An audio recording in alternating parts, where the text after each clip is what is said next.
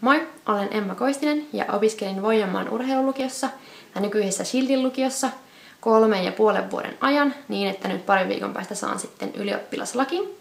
Ja yläasteen jälkeen hain sinne sen takia, että halusin itselle tärkeän asian eli yleisurheilun pystyä mahdollisimman hyvin yhdistää lukio-opintoihin.